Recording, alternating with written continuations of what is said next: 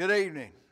I had to think for just a minute if it was morning or evening, but it's evening. And um, we continue on with our services here at Balfour, and I appreciate all of your faithfulness to tune in with us. And uh, it is an honor for me to be able to share with you tonight the Word of God. Uh, before we get started, we're certainly going to spend time praying, and um, I'm going to have Brother Mark be up in just a moment to be able to share with us in prayer. And many of you expressed how much you appreciate what he has been doing for us on that. And so we need to take advantage of it while I got him, because one of these days, Lord willing, we're going to have other things going on in the campus. So uh, uh, he'll, he'll be stretched other places. So we're blessed to have him to be able to pray with us today. Uh, again, want to welcome you to our services. And um, as all of you know, and you've probably heard rumors now, that uh, we're making plans to try to come back, and um, I'll be uh, communicating with all of you when that time will come. And we're working very closely. Obviously, uh, I spend more time with Mark, and this is a bad thing to have to say, but I spend more time with Mark than I do my own wife, I believe. And uh, but we were talking about that the other day. We we work every day here at the office, and we spend most of the day and uh, and talking, and so uh, we'll certainly be looking at that and some other leadership we're, we're dealing with, and um, we'll be getting that timeline down to when we're doing that. It's just not as simple as just start back tomorrow and get going. You got to have a lot of uh, uh, I's dotted and T's crossed before we get going, and we're working on that as we speak. We got a lot going on, and so we're excited about the thought uh, of being back in the house of the Lord. But until that time comes, we'll continue and just want you to know that we'll start back fairly slowly. Um, we will probably start back on a Sunday morning. And uh, at one time, that was not the, the intent. We were going to start back on a Wednesday and just kind of seeing how things went. But we decided our people need to be back in church. So we're going to start back on Sunday. And we'll start off and just go for a few weeks, make sure that everything's running well. And, uh, and all that is provided that we don't have some major outbreak or something like that, and certainly we still have uh, the ability to pull back if we had to, but it'll be my intention to move forward. I believe that the Lord has impressed upon my heart that we need to go forward, and so we're excited about what uh, God's going to do here. I made the statement to Brother Mark this morning. I believe that once uh, we get back into the house of God and we get back into the sanctuary, I see God just causing this church to really grow. And, uh, and so that's what my prayer is. I pray that as long as we preach the truth and preach the word, uh, I think God will bless it and use it. And I think you'll see Balfour continue to grow and, and we'll pick back in there. But it's going to take us just a little while to get everybody used to coming back. And so uh, we'll get there. And um, for those that are not comfortable about coming back when that time comes, I understand. And I pray that the Lord would give you the courage uh, and uh, the wisdom to know what is right for your family and your situation. But we will be making a move back into the house of the Lord, and uh, so I look forward to that very much. Tonight, it's good to have you all here tonight as we come before the throne of grace and mercy, as we call upon Him. And so uh, I certainly want you to remember tonight as we pray. I want you to, uh, sometimes um, lately we've had so much going on, and I want to try to get these messages in, and, and this message tonight is pretty uh, involved with Scripture, and um, I think you're going to find out that you enjoy it tonight. I don't know about you, but I've enjoyed going back over. I've did this before because I, I wrote this out uh, from you know studying a book several years ago, but it's been refreshing to me to go back and talk about heaven. Tonight we're going to be talking about heaven's award banquet. And uh, of course, all of us know that that's the judgment seat of Christ. And so we're going to be looking at that in just a moment. And hopefully, you'll enjoy it as much as I did. Uh, I know that last week we did uh, Paradise Heaven, and um, I've received several comments. Uh, I don't have, for those of you that, that try to communicate with me, uh, usually when you communicate, that man right there is the one that's telling me about it because I do not have Facebook. I just felt like for me, it would be better not to be on there. Sometimes I kind of wished in a way I was, but in another way, I don't need to be involved with all that and see it. And so I've got uh, my wife and other people, uh, Patricia down there, and then certainly Mark. And Mark lets me know if uh, someone has made a comment. So if I just don't respond back to you, that's, uh, that's the reason why. I don't have uh, the ability to do Facebook. And, um, and if you do get a response back from me, Mark's responding for me. So uh, And a lot of times I've told him if he would to send somebody something to let them know. So uh, just keep that in mind. But I hope you've enjoyed this as much as I have. We'll get back on this Sunday night. We'll be back on uh, spiritual warfare. We'll be dealing with uh, the three levels of, of darkness that we uh, fight, the realms of battlefield that we have spiritually. And so we'll be back on that uh, this coming Sunday evening. And uh, I have a message that uh, the Lord gave me this past Sunday. I already had another message that, uh, again, that I was uh, uh, could easily preach, but the Lord has kind of impressed upon me to give a message. And I was just telling Patricia a while ago, the title of it is "You Better Get Out While You Still Can," and that's what we'll be preaching out. Uh, this Sunday. So I, I, hope it'll be powerful. I hope you know, the thing about it is, when, whenever we make the mention that a powerful sermon, folks, the only thing powerful about it is the power of God. And, uh, and so that's what the prayer is. It's not because it's from me. So I am praying that God will send us a powerful message from on high because I need it as much as any of you do. So, uh, anyway, just a little food for thought as we get ready. So, if you would bow with me tonight as we go before the presence of Holy God. Father, we thank you tonight for the privilege to be in the house of the Lord. I thank you for this beautiful church and for these wonderful people that, Lord, are here. God, I thank you for the work that you've laid before us. And Lord, as we ponder about, Lord, coming back together, I pray that, God, your hand would be upon us. Lord, I, I pray to the same God that was able to give the children of Israel shoes that never wore out. I pray to the same God that is able to provide food in the midst of a desert. I pray to the same God that's able to bring water forth and to water his people. Lord, I pray to the same God that can touch a man that's blind and heal him. To the same God that can speak to demons and run them out of someone. To the same one that can stand and say, Peace be still to the storm. God, you're Almighty God. And Lord, you deserve our praise and our prayers today. And God, we honor you this morning. And we lift you up and we praise you and we thank you. And Lord, I ask you, Father, to be with all of us today. Lord, I pray that you'd bless Balfour Baptist Church. Lord, I pray that you'd bless everyone that's listening today. And, and those that are here in the sanctuary, that God, you would open our hearts and our minds as we talk about heaven in a few minutes. And Lord, that you'd speak to us in a mighty way. Father, we asked and pray today, God, that if there be anything in our lives, Lord, I pray in my life especially as I break the Word of God this morning Lord, I pray that God, you would cleanse me and wash me. Lord, I pray corporately today as a church that God, if there's sin in our life, that God, you'd remove it and cover it by the power of the blood. God, I'm so grateful today, Lord, that your mercy endures forever. And God, I thank you today, Lord, for the forgiveness of sin. Lord, we praise you and we honor you for being a great and mighty God. The great I am is my Heavenly Father.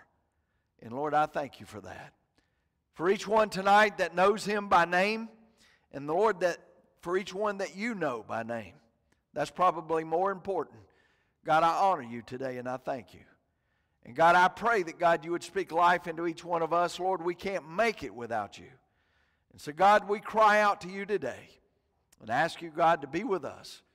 Lord, I pray that you would bless in this time that we have. And Lord, I pray that you would speak through your word in just a few minutes. God, I pray that you'd give us encouragement and that, Lord, you'd make a way for us as we move forward.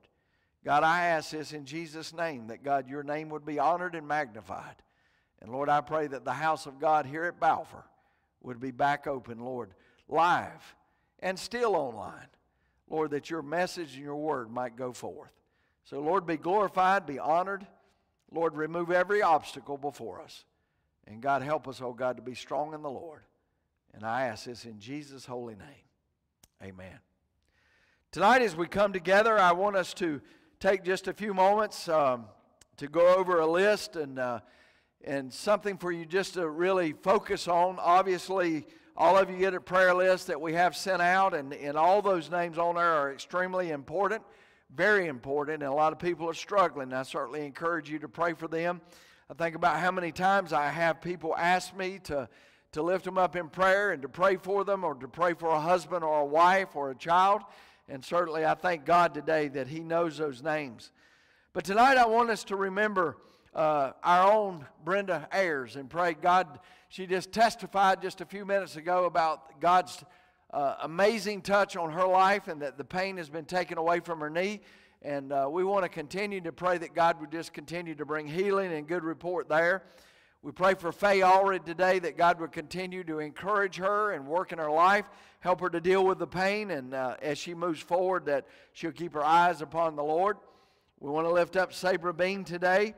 We want to pray for Bobby Brown. Bobby is going in for some tests, and I'll just leave it at that today. And we certainly want to lift up Bobby.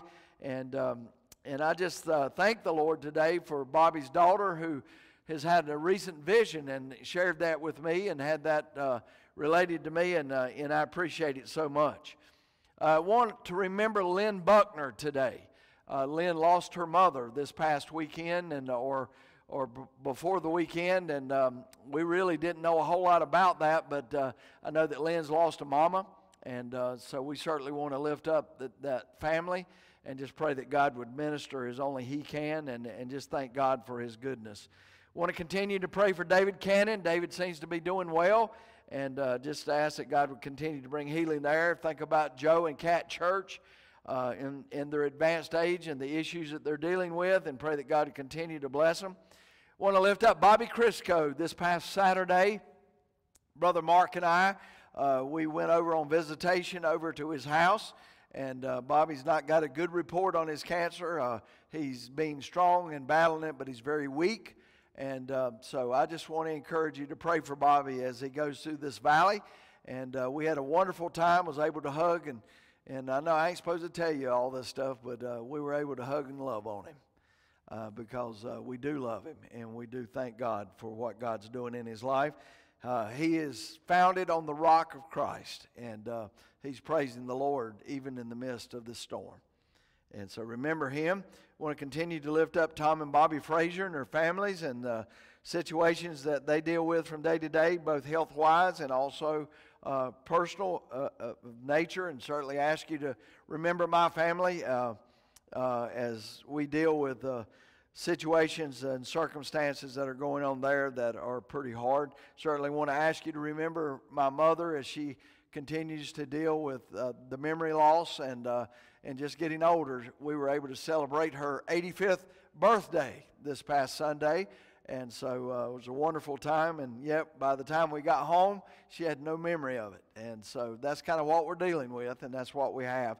But if we still got our mama, and that's the main thing. Want to remember Nicole Hedgepath today.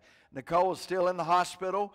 Uh, Brian was headed up today. They're going to remove a chest tube, I believe, today. And so she is showing improvement, and just pray that God would just work and, and touch her. She's been a very sick young lady. And uh, want to just pray for Brian and, and be with Brother Steve as he tries to encourage his son today and uh, that God would take care of them. Want to lift up Mary Hobson before you and just ask you to bless her and ask the Lord to bless uh, Becky Howard today and keep his hand on her life. Pray for Pauline Hudon. Pauline is, is tough and getting better and better. And so we pray for her. Think about Leonard Ingo. I hadn't got to see Leonard lately, but uh, we want to certainly remember Leonard and Lunette Ingo. We want to remember Harry and Judy Castle and pray that God's hand would be upon them. Uh, want to pray for the, the Pendry family and especially Kim. And uh, certainly remember the Ridge family as uh, Shirley's working through uh, the loss of her husband. And, um, and God is bringing healing to that heart. Just pray for her and, and pray for Sissy, the daughter and just pray that God, uh, she was a daddy's girl, and it's been hard for her to let go of her daddy. So just pray that God would heal that hurt. Want to lift up Rosalind Shine to you and ask uh, as she she wrestled with physical uh, limitations and things that are going on in her life that God would be with her and help her during this time. Want to continue to pray for Sister Pam, who's here today, and honored to have her and Doug with us. And pray for Pam that God would continue to watch over her and bless her and strengthen her and strengthen Doug. Uh, want to pray for Ed and Francis Spivey. And, um, you know, as, as all of you know, Francis is coming up on 50 years here at the church of playing the organ. So uh, she's been faithful. And so we certainly want to remember both the Spiveys and pray that God would be with them during this time. want to lift up Mark Strider to you. And uh, as most of you know, Mark has a, a brain tumor, and um, he's been through it. And uh, we're just praying that God will continue to work and show even when everybody kind of throws up their hand and say, well, there's nothing else can be done. God, you've always got something that can be done because God's still there. And God can do anything. And uh, certainly want to lift up Billy and Carolyn as uh, their hearts have been ripped out of their chest over this. And uh, they, they're, they're pretty strong people, but it's their, they're youngin', and so pray for them. Want to continue to pray for Patricia Underwood as Patricia is convalescing well, I believe it is, from her knee. And uh, we have a staff meeting that's coming up next week, and I think she's going to be able to try to be there. So I'm excited about that. And then I think about all those unspoken folks today that really don't want their name mentioned, but God knows where you're at, knows what you're dealing with. Um, we certainly want to remember those. And uh, um, I was just um, sharing with one of our ladies here just a few minutes ago that she feels really burdened about this. Uh, it's called like a National Day of Prayer. Uh, I think Franklin Graham is going to be heading it up. It's on September the 26th. And I'd encourage all of you to be praying about that time, but he's going to lead an effort to be able to pray for our president and the leadership up there that God, God is the only hope that any of us have in this nation. And uh, I think about a, a lady that called and spoke with Brother Mark today and about all that I can tell you is that she just told Mark that she needs a miracle in her life. And God knows what that is. And so we bring that. And so, uh, and then also Jim Wright, as Jim is, uh, cancer has returned and he's having to undergo treatments again.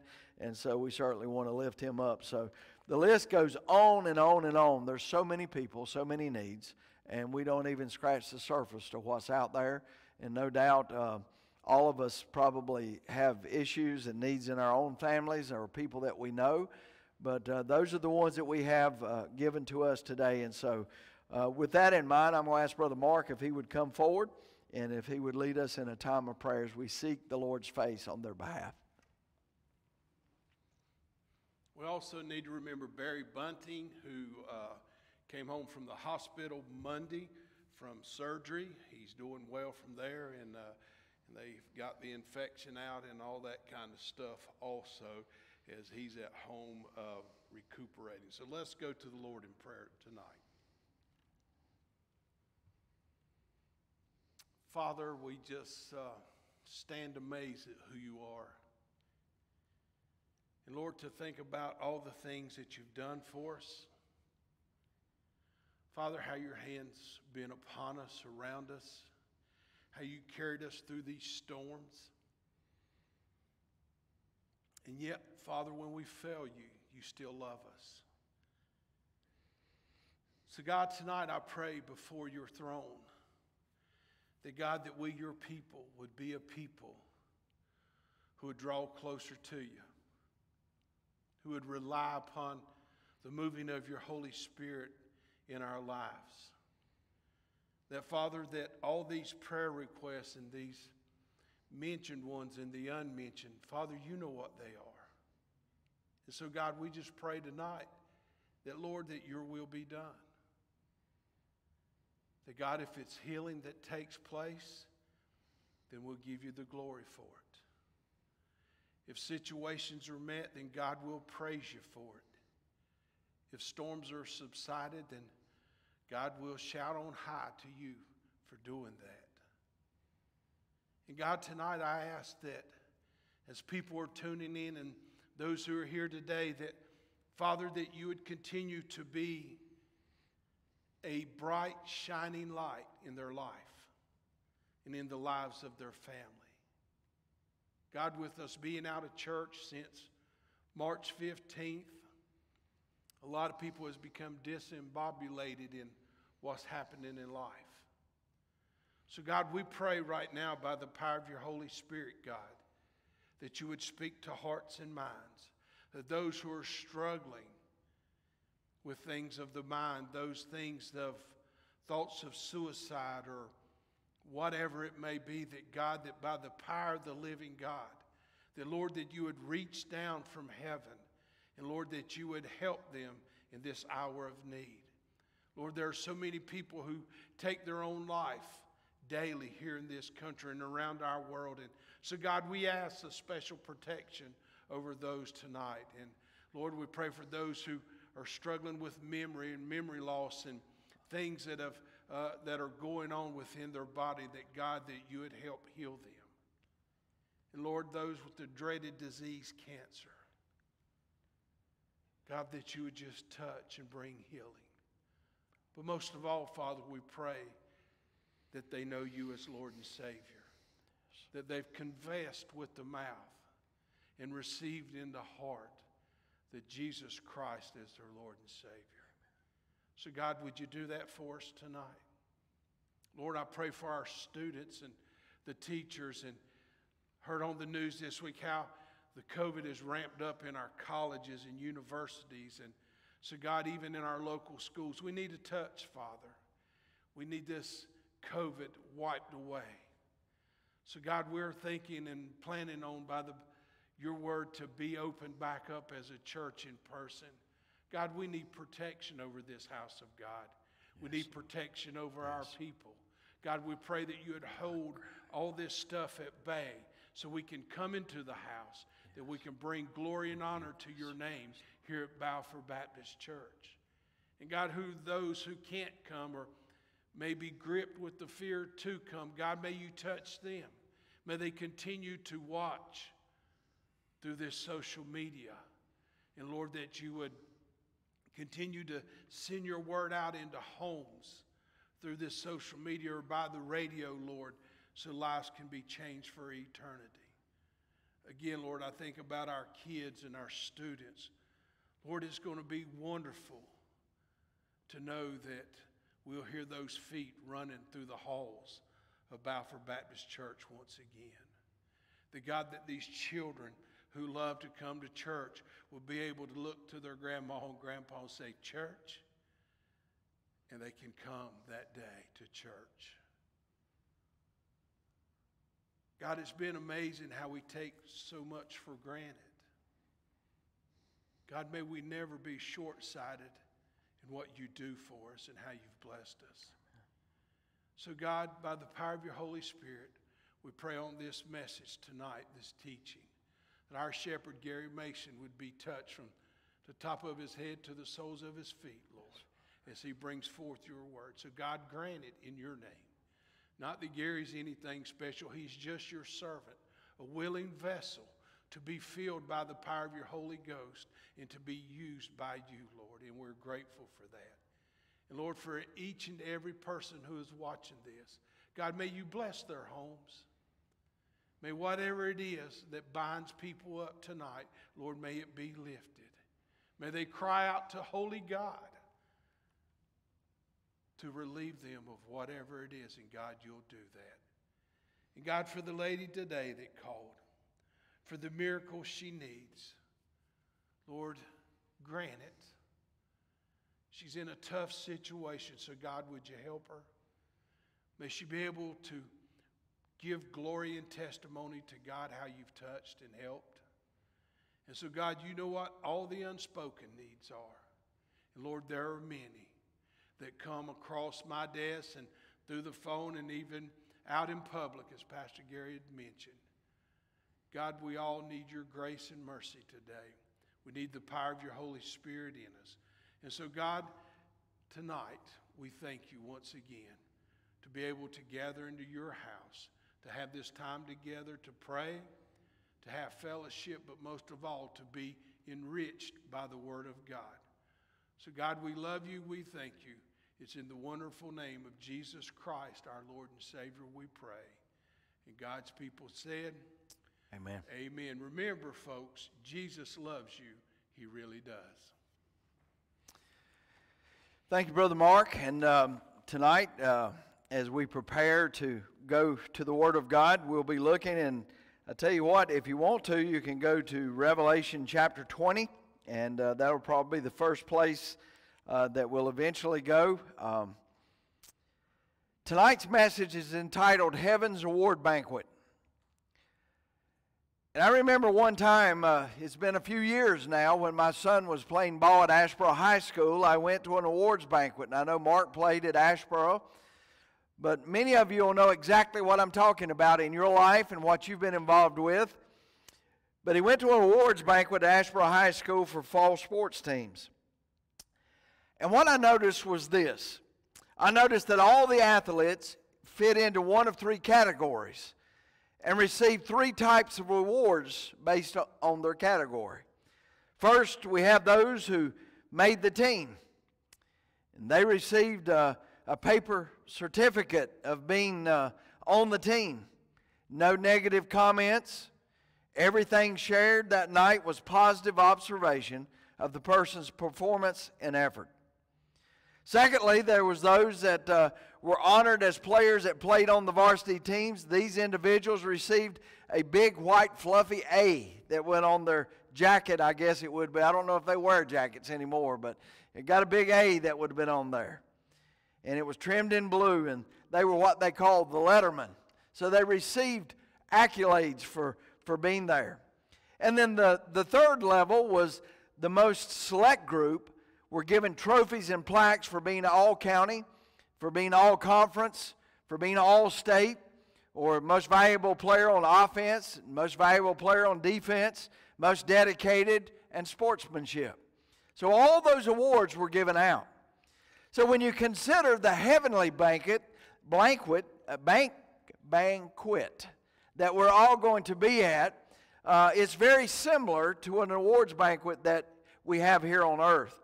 The judgment seat of Christ will be attended by everyone who goes to heaven. All right? That's for every born again believer. Those that by faith have accepted Jesus Christ as Lord and Savior will be invited.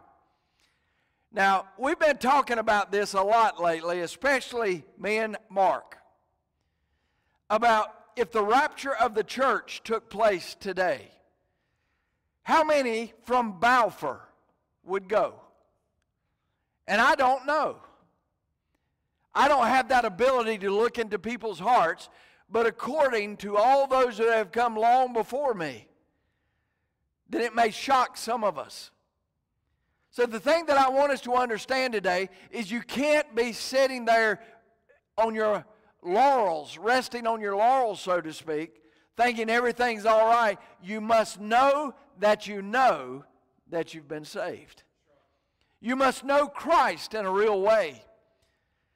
I heard a man say this morning at breakfast, he said, There has to be a change. So, in your life, one of the things that you have to be able to notice is something must change in your life. Old things are put to death, old things are, are, are thrown away or cast in the back. Doesn't mean that we don't mess up sometimes. We all mess up. But there has to be a change. So tonight I want to challenge you today that this banquet that we're talking about is for those who know Him, those who have been born again. And you want to know what the reality of it? Billy Graham once said that there may be four people sitting on a pew. One would be taken, the other three left behind. And man, that's scary. And I don't know that that's how it would be here, but folks, I don't think it's very far off. The Word of God tells us that narrow is the way, and few there be that find it. So the main thing tonight is you got to know that you know that you're ready to go home. You got to know that if death were to come this day, I don't have a plan on dying. I don't have a plan on having a car wreck or a heart attack or, or being hit in the head with a meteor or whatever it could be. But if it came, then my whole premise of my life is I must know that I've been born again, that my name has been written in the Lamb's Book of Life. So that's what I want you to know. Start with tonight. You must be born again, you must be saved. So, everyone at this. Uh, this place that we'll be joining at the judgment seat there in heaven, everyone will be recognized and there will be no negative words spoken. Now, I want you to think about this. Your sins have been atoned for, your sins have been washed away.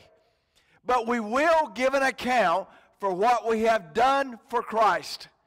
We will give an account for how we've did Bible studies or prayed or how we've loved on other people or the amount of love that's in our heart, the ministry that we've done, the things behind the scene that nobody else sees. For the times that people I think about uh, sometimes on Wednesday and Sunday, I think about those who, while we have people in here, they will disinfect this place. And nobody sees it, but only a handful of people. But God sees it. And God will be looking to reward even those people. Those who scrub out a toilet that's not very pleasant. But they do it as unto the Lord. God will reward those people as much as He will a preacher that's preaching the word up here. So everything shared will be positive observation of a person's performance and their effort of serving Christ. So, where does that find you right now? Where does that find you tonight, those of you that are listening to me? Are you loving God and honoring Him with your life? Are you serving Him with the abilities that God has given to you? Or are you falling short in those areas? Now we think about judgment day. Hebrews 9:27 says, "Is appointed unto men once to die, and after that the judgment." We know that there's coming a time that we shall stand before God to give an account for our lives. I told some of you earlier about this dumb phone that I got. Sure enough, it's about to rattle off up here, but I've got, I've got the sound down. And somebody wanting to talk to the preacher. But after death, the Bible says we will face judgment. And folks, you gotta, that's why I'm saying you gotta know that you're ready to step through eternity with the blood of Christ applied to your life. You might ask, well, what, what if somebody dies and they're not sure or they, they, they're lost? They, they've never accepted Christ. Folks, it is not good. And there's another judgment that we'll look at in just a moment. Those who have accepted Jesus as their Lord and Savior will be ushered immediately into paradise after death. If one of you were to die today, I'd be able to stand up here. My heart would be broken for you as I had to do a funeral message. But I'd be encouraged knowing that as soon as that person stepped out of this life, they were ushered into the presence of God, into paradise. And so that's what we hang our hats on today. Those who have chosen not to accept Christ as their Savior will spend an eternity separated from God in a place that we don't want to go. Upon salvation, that is asking Christ to come into your life, your name is written in the Lamb's book of life. We've studied about that in Revelation. We've studied about it prior to that. And uh, many messages that we've shared about you must have your name written in the book of life. And so we know that all Christians will stand before a judgment seat of Christ.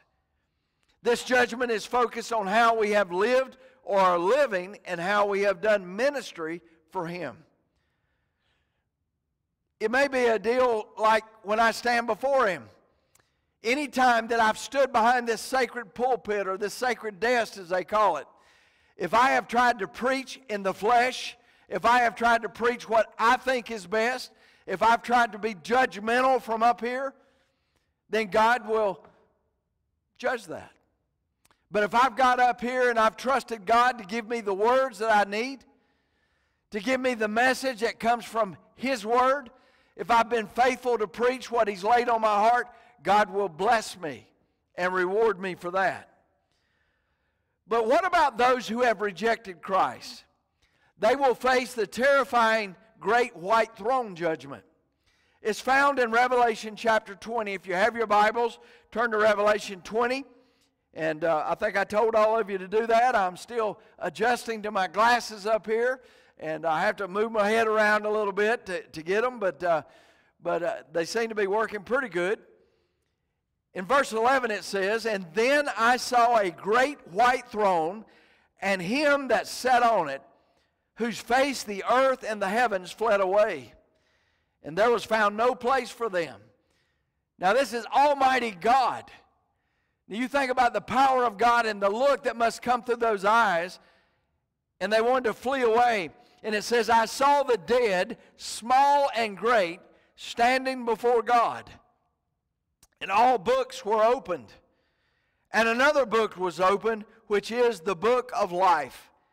And the dead were judged according to their works by the things which were written in the books. The sea gave up its dead who were in it. Death and Hades delivered up the dead who were in them, those who had died long before. and they that were judged, each one according to his works. So there is a degree of, of judgment that will flow against those that are lost.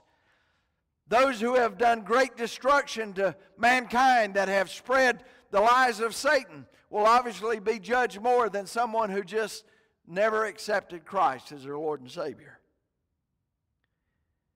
And then in verse 15 it says, Anyone not found written in the book of life was cast into the lake of fire. So again, we're reminded that you must be born again and your name must be in the book. Now, just as a review for you, all right, if you would with me, go over to Second Corinthians chapter 5. 2 Corinthians chapter 5. And we want to look at verse 10. And this should be a verse that, that many of you remember. Hopefully, some of you will have this memorized. In verse 10 of chapter 5 of 2 Corinthians, it says, For we must all appear before the judgment seat of Christ, that each one may receive the things done in his body according to that which he has done, whether good or bad. Now, again, this is for believers. The great white throne is for those who, I don't want your Jesus. I don't want to be saved. I want to live my own life, and they reject him. And they leave this world not being born again. Now, think about the judgment seat of Christ. It is for believers only. The great white throne is non Christians, those who have rejected God's holy Son. The judgment seat of Christ will be an awards banquet where God will be looking to reward us for what we have done and accomplished for the kingdom. The great white throne will be more of a courtroom setting where facts will be brought out about a person's life. At the judgment seat of Christ, there'll be rewards given. But at the great white throne judgment, punishment will be doled out. The judgment seat of Christ will be very positive. And folks, I'm telling you today that if you're a believer today, that it's nothing to be afraid of. It's nothing to be scared of. You ought to look forward to that day when you stand before the Lord and give an account for your life. Because your sins have been atoned for. And yet I'm reminded that the great white throne judgment will be very negative. And it's a situation where you don't want to be there. The judgment seat of Christ is an awards banquet. It is a positive event that we should be preparing for.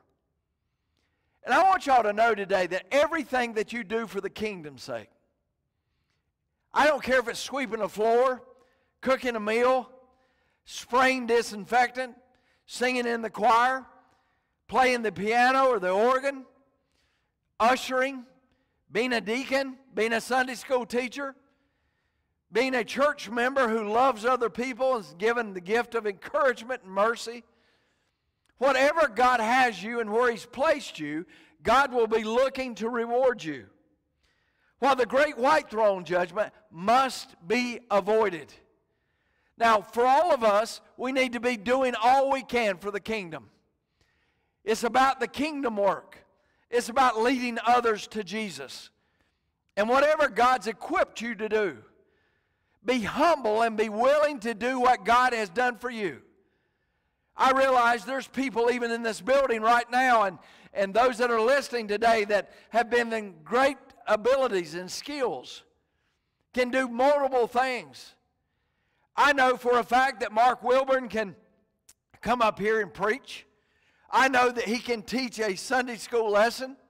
I know that he can lead a discipleship group. I know that he can head up a youth program or Awanas. He's got those abilities and skills that God has equipped him with, and yet He has sent him here to work under this pastor for the kingdom of God. Someday God will probably elevate him once again to a pastoral position. He's already in a pastoral position, but I'm talking about senior pastor. So God will be looking to honor Mark, and I'm using him as an example right now, honor Mark for his willingness to humble himself and to serve the Lord, giving back unto God what God has blessed him with. And I thank God that God has sent him here. What a blessing he's been. What a blessing he's been to me today for all of you that are here. And for the many that are listening today, God has blessed Balfour Baptist Church, but he's blessed my life today because of you. And folks, it's about all of us in doing our best to see that, that um, we grow the kingdom of God. I tell you one thing that Mark has brought in my life, and I will share this, is that Mark has helped me to understand probably greater than any time before. This is not about a Baptist church. And it's not about a denomination. It's about the kingdom of God. And it's about building the kingdom by leading others to Him. And I think I received that from Him. I am fully Baptist. I am proud to be Southern Baptist. But, folks, I'm proud to be a child of the living God. And I'm proud to have a place that is reserved for me in heaven. Now, I find nothing in the Bible that tells me that, as some of you have heard, that uh, St. Peter stands at the gate of heaven checking off those who get in and who don't. We hear jokes all the time that's about that. But the Word of God tells us you must be born again. Your name must be in the book of life. Everyone at the judgment seat of Christ will be a believer.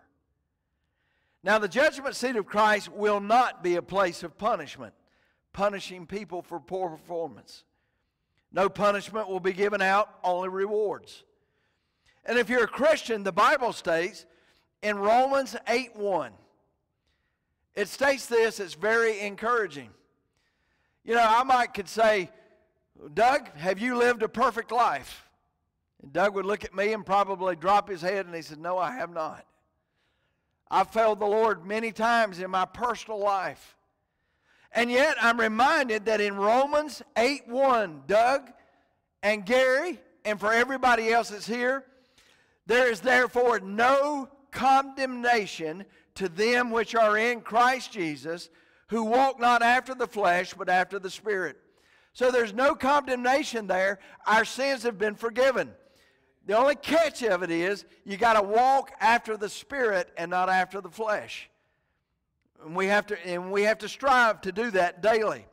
Now Jesus took all of our sins and the punishment required for them, he took them on himself when he went to the cross. So I want you to understand today, I don't care where you've been and I don't care what you've done that Jesus' blood was sufficient to cover a multitude of sin in your life. And that because of him, you have a blessed hope today. Now, Jesus' sacrifice was sufficient to cover a full debt of all of our sins. It's paid in full. He don't have to go back to the cross. He don't have to go back and die again.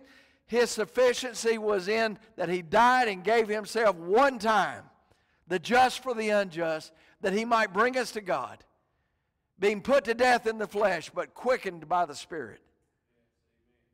Hebrews 8 12 is a powerful verse of Scripture. You're talking about powerful, this is powerful. It's one that we all should know, and I'm reminded today that I need to know this one in my heart. It says, I will be merciful to their unrighteousness. Thank God for that and their sins and their iniquities I remember no more. Folks, it is a no brainer today. Why would anybody choose to reject Jesus? Why would anybody say no when you're given the ability to bring all your trash and problems before the Lord and say, God, I am unworthy, but Lord, I bring it to you and I ask you to forgive me? My Bible says, Whosoever shall call upon the name of the Lord shall be saved. And will be at this uh, judgment seat of Christ. There will be no punishment for sins handed out at the judgment seat of Christ, for it is a heavenly awards banquet for believers that are born again.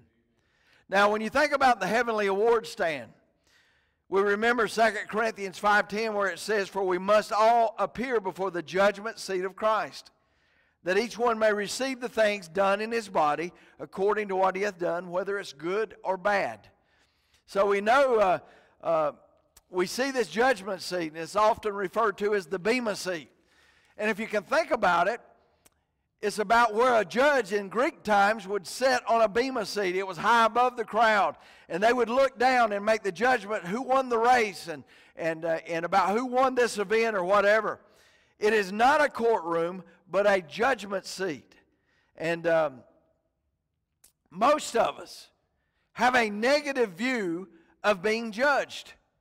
And that's because of the world that we live in, and people are so quick to judge one another. Folks, the Christian house of God, we tear one another up with judgment. You know what? I, I, am working on a message probably for this Sunday. And I'll give you this much of it. I'm going to be talking about Abraham and Lot. And I'm not going to be spending a lot of time on Abraham, but it's going to be more of a focus on Lot because it deals with a lot of our situations today in our world, in our society, in our church, with our people today. And if you look at the story of Lot, is one of the most saddest stories that you can find in the Bible. It is absolutely watching a man's life come apart. And he loses everything because he chose wrongly. And he hitched his wagon to something that was not real. It was a lie of Satan. And so when we think about that, and we think about uh, the Bema seat, you would think automatically as we judge, well, Lot, ain't no way he could be born again. And yet the Word of God says that God sent his angels to get him out of there. And they got him out of that city before they destroyed it. Now, we'll go into this in more detail. So, God saved him and spared him. But everything he had, he lost. All of you know he lost his wife, he lost his son in laws. It was him and his two daughters, is all that got out of Sodom. And I still, as a Christian, would be looking and say, there ain't no way that man could be saved. His life didn't match it up. He's down there with a bunch of people that are, are uh, I guess, LGBTQ. I mean, it was terrible. The men were sodomites. They tried to have sexual intercourse or wanted to have it with angels that were there, and God smited them for it. And so we see the, the scourge of sin, and it would be easy for me to say, and I bet there'd be more, many people here to say, hey, you know what? It could be born again. And yet, if you go over to 2 Peter chapter 2, 7 and 8, Peter says, he was deemed righteous by God. And God counted it righteous to him that he was saved from Sodom and Gomorrah. And even in uh, Corinthians, it talks about, and we'll look at all this, it talks about over in Corinthians that there'll be some that will be saved by fire. That judgment will come and we'll, we will be able to enter into heaven, but we lose everything we have because we were not ready to see the King. We were not ready to go home, but we were born again. And so, folks, we've got to be careful about judging people. So we know awards will be given out. I think about Revelation 22 12. If you have that, turn to it, Revelation 22 12. And Jesus tells us uh, something that we need to know that was expressed through John. It says, And behold, I come quickly, and my reward is with me to give to every man according his work shall be, shall be, whatever that shall be. So, folks, I challenge you today to know that there's still time to be about the king's work. There's still time to, to do what God has called you to do. I, I just want to get personal here today. You think God will not honor Dwight Ayers for all that he has done to see that the Word of God goes forth from Balfour Baptist Church? Do you think God will not honor his son that has also given his life and his capabilities to see that the message of the gospel is sent out? Do you think God will not honor some of you that are so full of love that, that you love other people and that you express that love and just want to be around the house of God? Do you think God will not bless you for that? Do you think those that provide food and, and bring little things or send cards or, or, or pick me ups? I think about Barry Bunning today, and, and I'm so thankful today to hear that Barry's doing much better. He's been in a horrible place physically, and I thank God that God's bring, bringing relief. But you think God will not honor him for a life that has been changed and now has a heart for people? That there's been at least three or four people that have been brought to this office down here that have been born again and their life changed because his faithfulness to go and see them. That's just one person. And, folks, all of you that are here today, the little things that you do, you think God didn't see the other day when Keith helped Mark up there, making sure that Jesus is lit up in our window, our stained glass up there? God's keeping account of all this. And it tells us that the books will be opened. For those of you that have supported me and been here, and it's not about supporting me, but supporting me as your pastor to pray for me and to lift me up. God hears every one of those prayers. In John 5 22, John chapter 5, verse 22, it says, For the Father judgeth no man, but has committed all judgment unto the Son. So you might say, well, who will be our judge? It will be Jesus. That's who will judge us. Acts chapter 10, verse 42.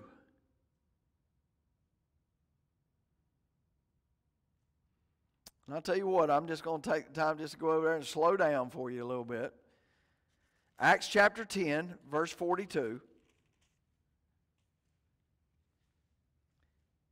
And he commanded us to preach to the people and to testify that it is he who is ordained of God to be judge of the living and the dead. So we know that Jesus is there.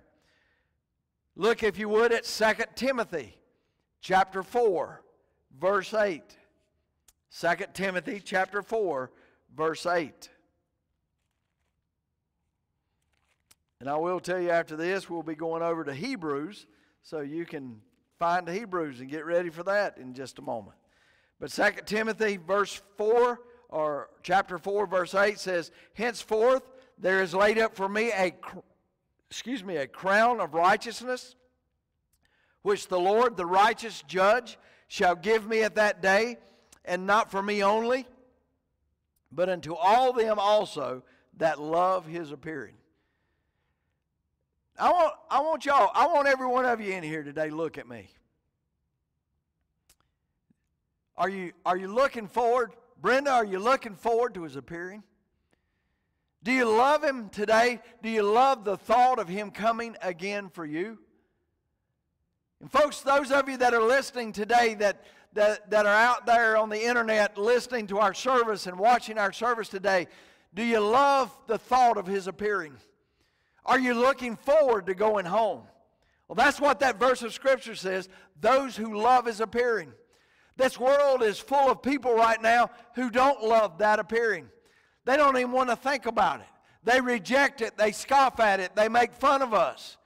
But, folks, I don't know about you, but I get my encouragement knowing that, Lord, if anything happens to me today and you take my breath from me and I go home, that, Lord, home is heaven where you're at. And so that's what we got to hang on today. Now, as the Son of God, He will know everything about us. Now, that's kind of scary, isn't it? He knows everything you think, He knows every conversation that you have, He knows every joke that is told and you laugh at or you say. Thank God that our sins have been atoned for because great is our sins. But He knows our thoughts, our desires. He knows where our love is for Him. He knows what we struggle with. He knows what we wrestle with. And I'm reminded that in Hebrews 2 14 through 8 tells us that He can fully emphasize with everything we have gone through, which makes Him the perfect judge. He lived on this earth for 33 years. And the Bible says He was tempted in every way and yet sin not. If you would go over to Hebrews chapter 2, and let's look beginning with verse 14. Hebrews chapter 2, beginning with verse 14. And we'll go through 18. Insomuch then, as the children hath partaken of the flesh and blood, he himself likewise shared in the same, that through death he might destroy him who had the power of death, that is, the devil. All right, he's defeated the devil for your sakes. Verse 15, and release those who through fear of death were all their lifetime subject to bondage. For indeed he does not give aid to angels, but he does give aid to the seed of Abraham. That means us. Therefore, in all things, he had to be made like his brethren, that he might be a merciful and faithful high priest in things pertaining to God to make propitiation for the sins of the people. For in that he himself has suffered, being tempted, he is able to aid those who are tempted. We ought to thank God for that today. All of us, starting with your preacher today, needs the hand of God to be upon our life and to give us the grace that we need to be able to survive. Some people get unnerved when all of our secrets are exposed. But I want you to know today that Jesus knows it all. And now is not the time to make unnecessary. Uh, let me put it this way now is the time to make necessary adjustments to your life that you might be ready. I was going to put it in a different way, but now is the time to make those changes that you need to make. The Bible tells us it will be refined as if by fire. Revelation 1:14 refers to Jesus' eyes to be like the flame of fire. Folks, I want you to imagine, if you would, for me, for just a moment, when you stand in His presence and when you see Him for the first time. And the Bible says that the eyes of Jesus are not weak and anemic, but his eyes are as a flame of fire, cutting through and cutting asunder all the, the things that we throw up to block him, and that he sees straight into our mind and into our heart. I think about uh, over, if you would, go over to 1 Corinthians. And we're going to look at chapter 3, if you would.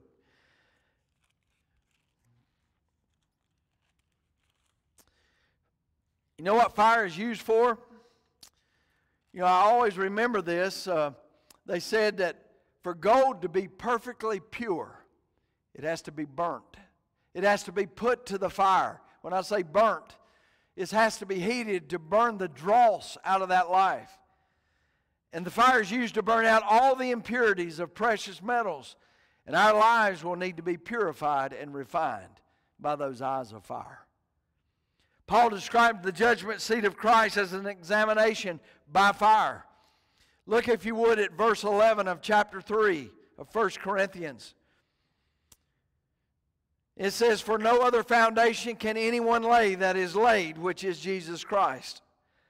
Now, if anyone builds on this foundation with gold, silver, and precious stones, or wood, hay, and straw, each one's work will come manifest, for the day will declare it because it will be revealed by fire. And the fire will test each one's work of what sort it is. And if anyone's work which he has built endures, he'll receive a reward. And if anyone's work is burned, he will suffer loss, but he himself will be saved, yet so as through fire. And folks, that's where Lot came in, in my opinion.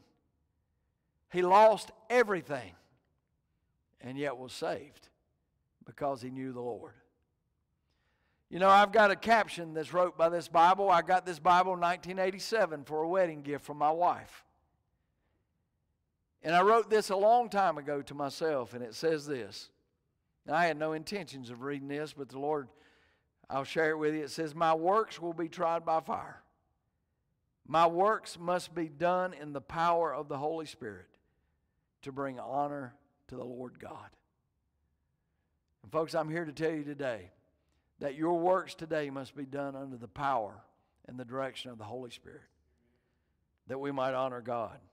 As His eyes of fire sees our positives, described as gold, silver, and precious stones, they will be refined and made more evident and more beautiful. The negatives in your life, those of you that struggle with fleshly things, those of you that have a mouth that you have trouble controlling, those of you that have tempers that get away from you, some of you that have dispositions that shouldn't be, it says they'll be burned up. And you'll suffer loss because of them. Based on how we have lived and what we did for God down here on this earth, we will receive rewards such as crowns and condemnation or commendations and commissions. Great responsibility will be given to God's people. Now, I would, if you would, go over to Revelation chapter 4. Revelation chapter 4. And let's think about casting our crowns at his feet. So, based on how we lived and what we did for God on this earth, as I just said, we will receive rewards, crowns, commendations, commissions. Let's look at chapter 4, beginning with verse 9 through 11. Whenever the living creatures give glory and honor and thanks to him who sits on the throne, who lives forever and ever, and the 24 elders fell down before him who sits on the throne and worship him who lives forever and ever, and they cast their crowns before the throne, saying, You are worthy, O Lord to receive glory and honor and power. For you created all things, and by your will they exist and were created. Folks, I believe that the crowns that we receive we will cast back at his feet to give honor to him, as according to what the scripture says. So, heaven's award banquet. Three tips on how to get there, or, or three tips about it. This is very simple.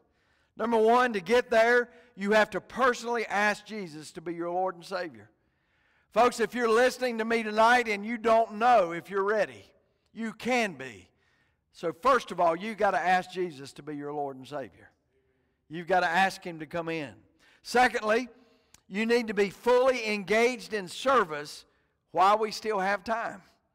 There's still a chance to work, and we have to be fully engaged. That doesn't mean I can just throw up my hands and quit and go home.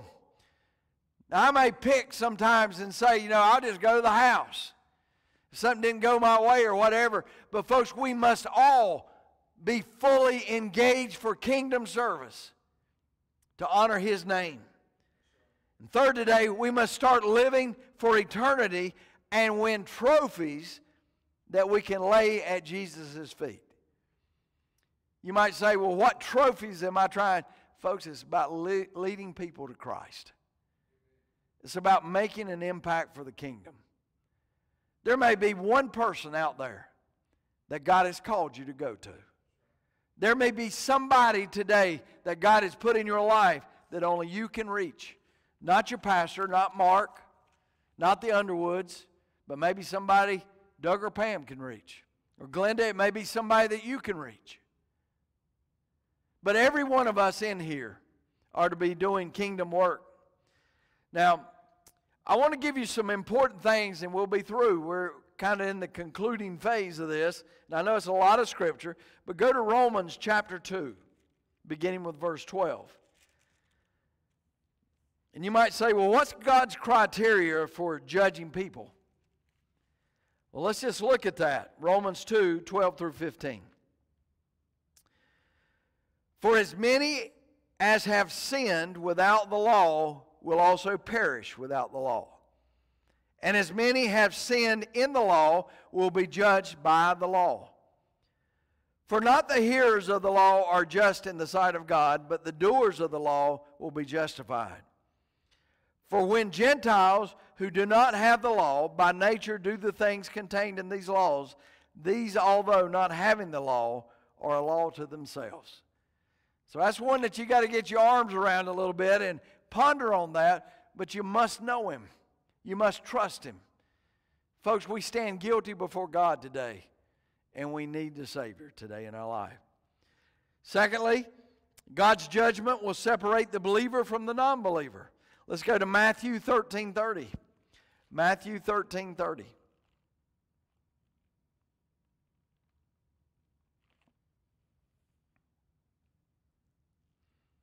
This is the parable of the mustard seed, or just before it. It says, Let both grow until harvest, and at the time of harvest, Jesus said, I will say unto the reapers, First gather together the tares, and bind them in bundles to burn them, but gather the wheat into my barn. Are you a wheat today? Are you one of his? Or are you a tare? That is to be bound up and to be burnt. And then Revelation chapter 2. Now, y'all ought to be wearing your pages out now. Chapter 2, verse 12.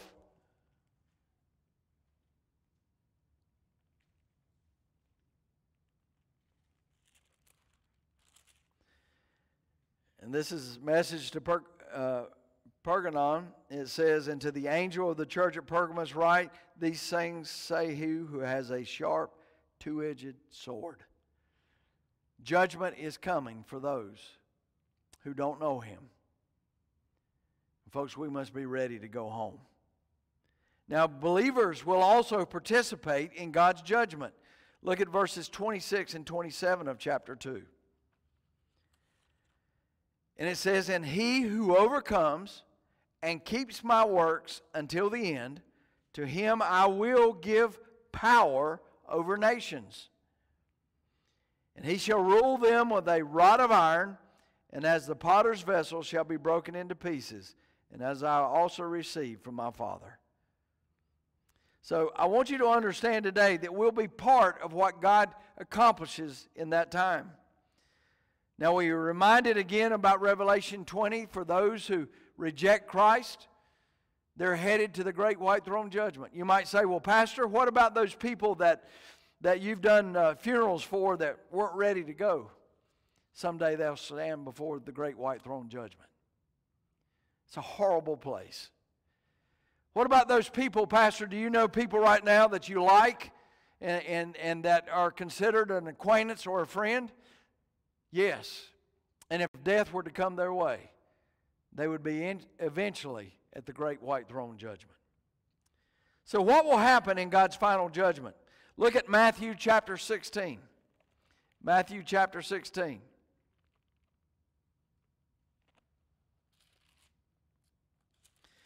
And let's look at verse 27.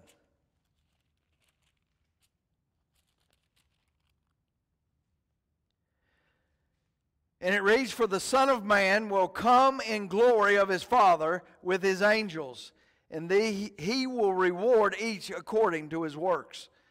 So, folks, are you ready to meet him today? If the trumpet of God should sound, are you ready? Then I think about uh, there's eternal punishment. Look at Matthew 25. Let's go over there. We've not got a whole lot more. Verse 26. Matthew 25. And I hope all of you find this very interesting because you, you got to know this. You got to be aware of this. And these things will go away into everlasting punishment, but the righteous into eternal life. Well, how in the world, Keith, can you be assured of heaven? Some of you ask that question all the time to yourself How do I know that I know that I've been saved? The Bible says that the Spirit of the living God dwells inside of you. And that someday when we stand before God, if Peter was to be out there and he'd say, Keith, why should I allow you into my heaven? Keith can look at him and say, Because of the righteousness that came through his blood that's covered my soul, I stand today in his image covered in the blood of Christ, covered in his righteousness. That's why a holy God can look at a Keith Underwood or a Gary Mason or a Joanna Mason or a Doug or a Mark or any of us that are here today. That's why we can do that. What about those who do reject Jesus? Any of you that uh, ever tried to speak with somebody and they rejected him? Look over at Luke chapter 11. Luke chapter 11. And let's look beginning with verse 29. Luke 11, 29 through 32. And while the crowds were thickly gathered together, he began to say, This is an evil generation. It seeks a sign, and no sign will be given except in the sign of Jonah the prophet. For as Jonah became a sign to the Ninevites, also the Son of Man will be to this generation. The queen of the south will rise up in judgment with all men of this generation and condemn them, for she comes from the ends of the earth to hear the wisdom of Solomon, and indeed a greater than Solomon is here. So we see here that we think about those who reject Christ, it is not good.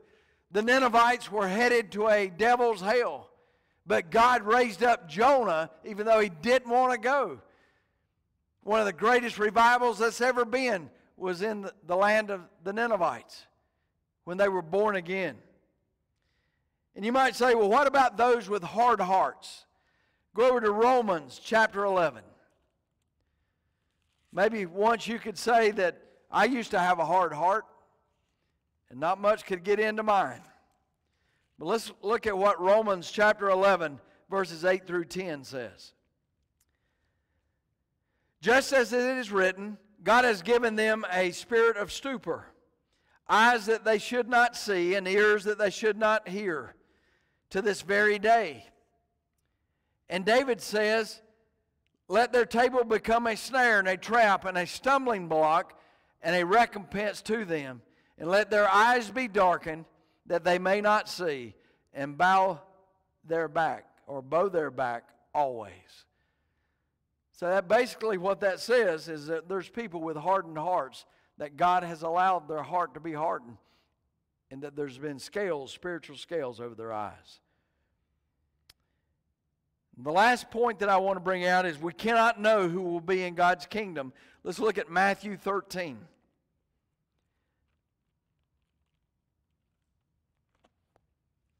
Matthew chapter 13. And let's look at 47 through 49. And again, the kingdom of heaven is like a dragnet that was cast into the sea and gathered some of every kind. Which, when it was full, they drew to shore, and they sat down and gathered the good into vessels, but threw the bad away. So it will be at the end of the age. The angels will come forth, separate the wicked from among the just. Verse 50 and says, And cast them into a furnace of fire and there will be wailing and gnashing of teeth. So the hour is coming when the end will be here. 1 Corinthians chapter 3, if you remember what we read a while ago, says we need to take heed that judgment is coming. In the book of John, it says the hour is coming when the dead shall hear his voice. There's coming a time when we need to be reminded that we shall not enter into condemnation, as Paul said in Romans chapter 8, verse 1. And then I think about, uh, we're going to conclude with this. Go over to Thessalonians, 1 Thessalonians chapter 4. And I think we need to have this at the forefront of our minds to always be thinking of what God has prepared for us. Verses 13 through 17. It says, But I do not want you to be ignorant, brethren, concerning those who have fallen asleep, lest they you sorrow as others who have no hope.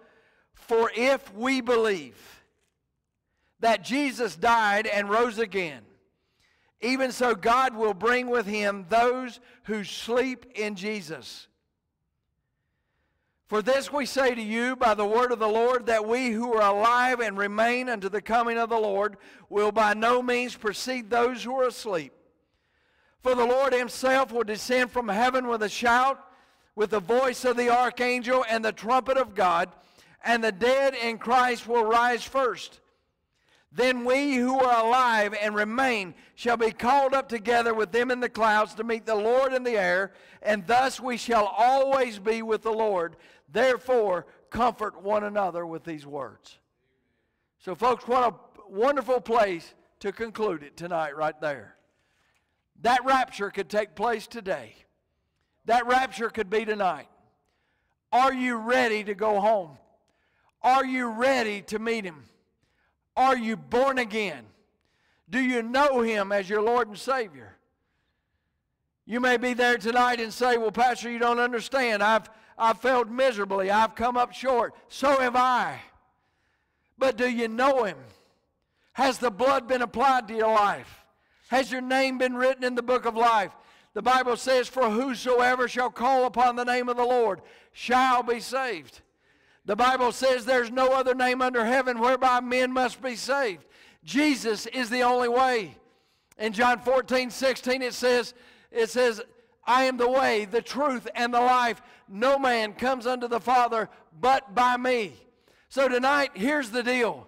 If you want to be ready for that awards banquet, if you want to be prepared for that day to enter into the presence of God, you must be born again. You must be saved. And if you haven't been saved, you're not ready. And you're not going to like what you find when you die. So the choice is yours. Will you make the right choice and call on Christ? Believer, tonight, Christian, will you make the right decisions and do all you can to build the kingdom of heaven? Folks, my prayer is for all of you to heed this warning tonight for us and to look with anticipation about being in the presence of God. Folks, here's the deal Doug and Pam, for you to be at the awards banquet, to be at the judgment seat of Christ, means you've been born again and you're in His presence. Think about it. You know, every once in a while, I got to give an evaluation to Mark Wilburn. The Lord has placed me as pastor of the church, and yes, there's people that evaluate me. But I have to evaluate Mark, have you done your job? Have you followed through with the responsibilities? Patricia, have you done your job as a secretary? Donna, have you done your job as a, as a music director? Have you led the choir? Harold, have you done everything that has been asked of you to do as our media services coordinator?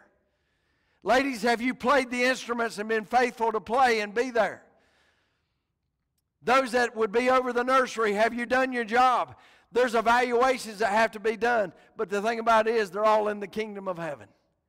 They're all born again people. And the same will be for each one of us. So before I get to preaching again, let's close with a word of prayer tonight and just make sure that you're ready to go. Father, we thank you for the day, for the blessings of this.